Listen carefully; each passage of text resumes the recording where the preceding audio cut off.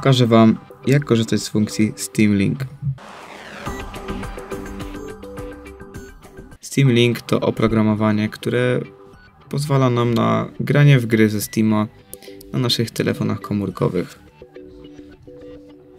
Po pierwsze, musimy z Google Play'a lub App Store'a pobrać aplikację Steam Link.